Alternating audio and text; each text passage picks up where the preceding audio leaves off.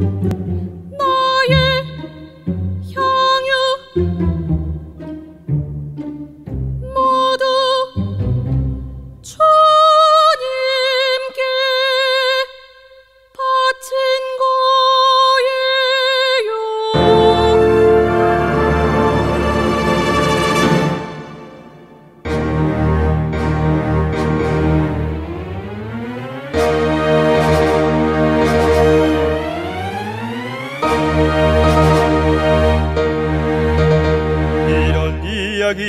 또 있을까? 믿을 수 없는 반전 이야기